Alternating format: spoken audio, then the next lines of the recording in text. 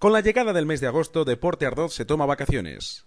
Regresaremos en septiembre, cuando cumpliremos un año con la videorevista de información deportiva de Torrejón de Ardoz, con especial atención a los equipos y los eventos más importantes que se producen en esta localidad madrileña. Hasta entonces, seguiremos trabajando en mejorar la página, los contenidos y os reservamos novedades. Volvemos en septiembre.